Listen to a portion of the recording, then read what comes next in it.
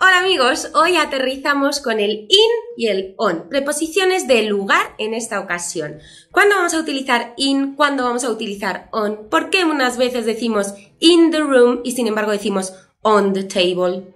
¿O por qué decimos in the car pero decimos on the bus?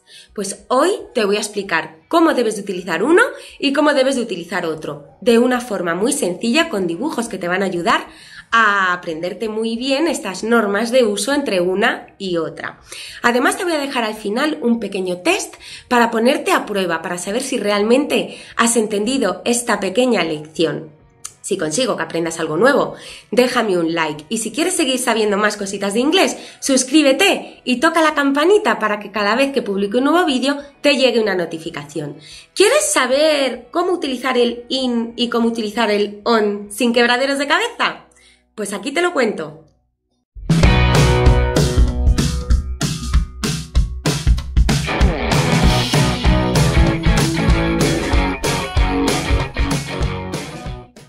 Let's start with preposition in. The general idea is to indicate within something or inside the limits of something. La idea general es que in implica que algo está dentro de otra cosa o dentro de los límites de algo. For enclosed spaces, para lugares cerrados. There is some juice in the fridge. Your keys are in the bedroom. She found 20 euros in her pocket. Our office is in that building. Tanto el frigorífico como la habitación, el bolsillo o el edificio son lugares cerrados, enclosed spaces. We indicate areas, cities, countries, para indicar áreas, ciudades, países, continentes. We will go for a walk in the park. They are living in London. I was born in Italy. Incluso si los límites no están tan claros para este tipo de áreas, ciudades, países, siempre vamos a utilizar in. We also indicate containers. También lo utilizamos para indicar lo que está dentro de cualquier recipiente. There is some wine in the bottle. The soap is in the soap dispenser. You can use the perfume in that bottle. There are four pencils in the pen holder. Ya sea una botella, una taza, un vaso o el recipiente en el que metemos los lápices, cualquiera de ellos va con in. We also use in for substances. También las sustancias pueden contener cosas. I would like some milk in my coffee. There is a lot of sugar in that sauce. I found a fly in my soup. La leche está en el café el azúcar en la salsa y la mosca en la sopa. Pay attention. Means of transport. Mucha atención a los medios de transporte. We use in with no movement. Para los medios de transporte en los que no podemos movernos dentro, ni caminar, ni pasear, utilizamos in. He was waiting in the car I have never been in a helicopter. Ni en el coche ni en el helicóptero podríamos darnos un paseo. Así que estos decimos in. Let's go now with preposition on. The general idea is to indicate the position on surfaces. La idea general es indicar la posición de algo sobre una superficie,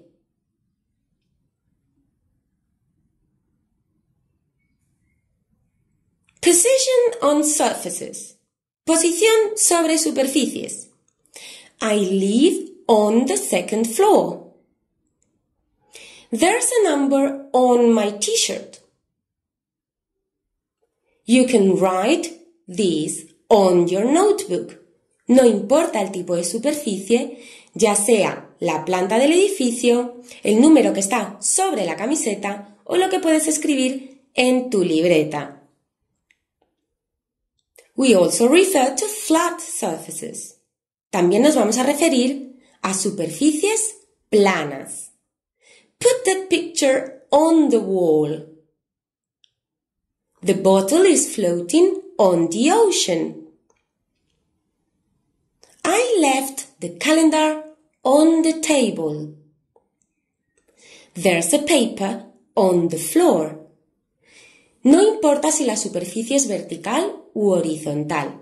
Esto incluye también si algo está flotando sobre el agua. We indicate specific places on a surface. Para especificar un lugar sobre una superficie usamos el on.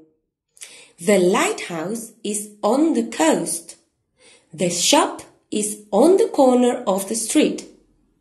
El faro se encuentra en la costa y la tienda en la esquina de la calle. Ambas superficies van con on. And pay attention again to the means of transport. Vamos a prestar mucha atención de nuevo para los medios de transporte.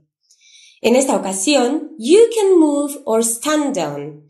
Son medios de transporte en los que nos podemos mover o pasear, estar de pie, o estar sobre ellos, encima de ellos. I met her on the bus. He's on the horse.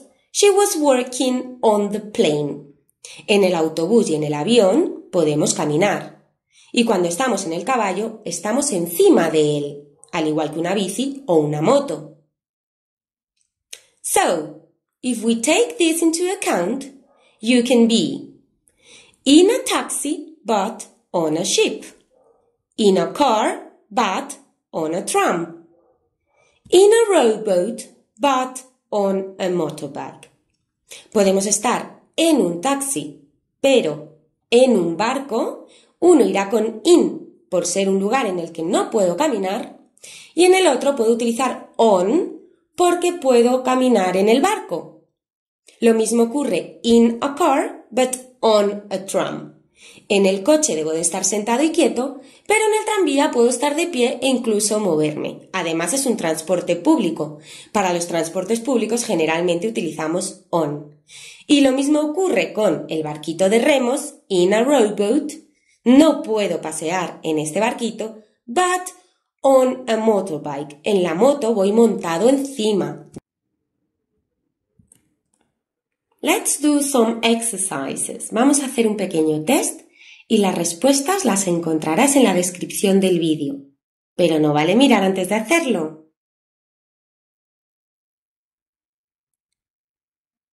Number one. Mom is in or on the kitchen. Mamá está en la cocina. ¿Diremos in o diremos on?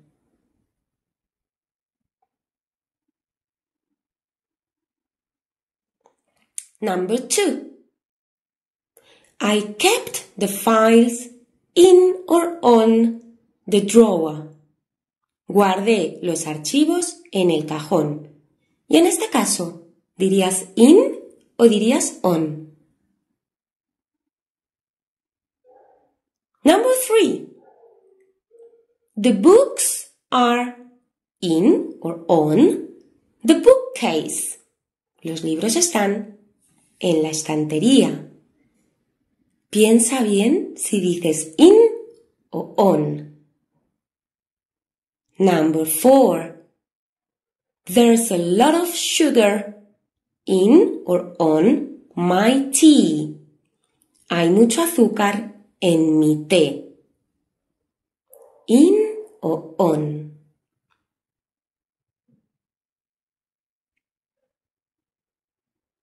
Number five. He reads a book while he's in or on the train. Él lee un libro mientras que está en el tren. ¿Dirías in o dirías on? Number six. She's doing yoga in or on the floor. Ella está haciendo yoga en el suelo. Aquí qué decimos, in o bien on. Number seven. There are only a few coins in or on the piggy bank. Solo hay unas pocas monedas en la hucha. In or on. Number eight. The ball is in on the swimming pool. La pelota está en la piscina. A ver si aciertas con el in o con el on. Number nine. I have lived in or on Spain for five years. He vivido en España durante cinco años. In Spain or on Spain. And finally, number 10. We were sat in or on the school bus. Estábamos sentados en el autobús del colegio.